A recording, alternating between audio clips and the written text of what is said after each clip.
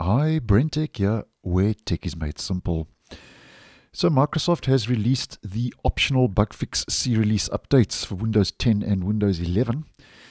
And starting with Windows 10, the update is KB5031445. And this is exactly the same update I posted on last week when it was still in the release preview channel and has now made its way uh, into the stable version of Windows 10 version 22H2. Now, the update um, rolled out on the 26th, which was late yesterday in my region.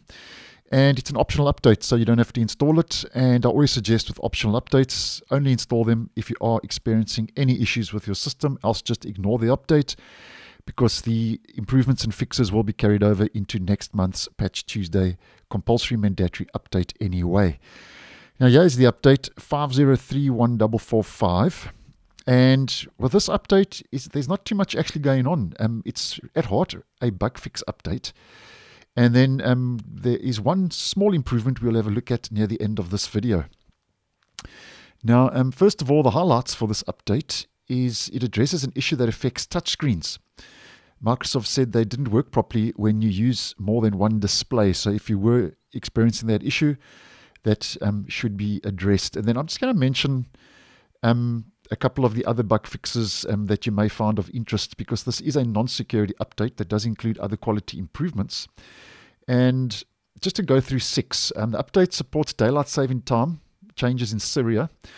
Um, there's a bit of a performance uh, fix rolling out. There are two memory leaks that have been addressed, and uh, any memory leak that is addressed, I think, is a nice move because um, obviously memory leaks mean it's using excessive memory in a certain area of the OS. So two of those have been addressed. So um, that should increase the performance of Windows 10 uh, in some cases. And then the update addresses an error that occurs when you print using V4 print drivers.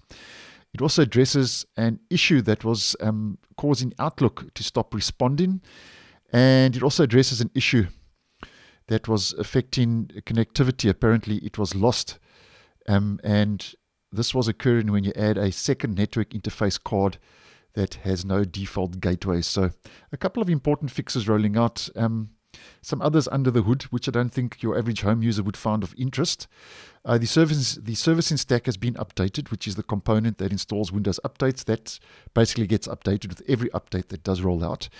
And then something I have uh, seen that wasn't mentioned in the release notes and here, if we head to our Start menu, we now get System Components in the Start menu.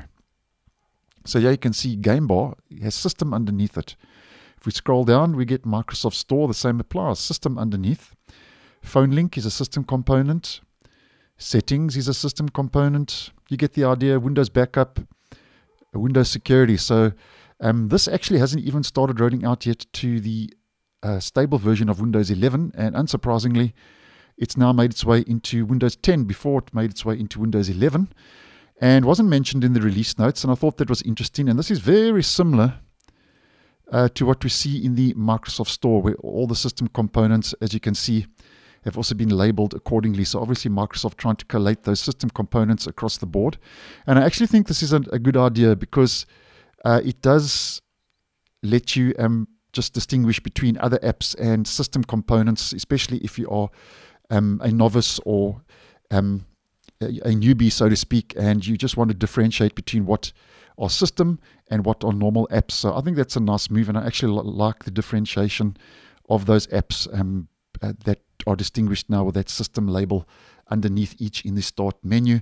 And if you want to uh, see the latest uh, version and build, we just head to uh, WinVer. This is about Windows. And here we go Windows 10 version 22H2, OS build 19045.3636. So thanks for watching, and I'll see you in the next one.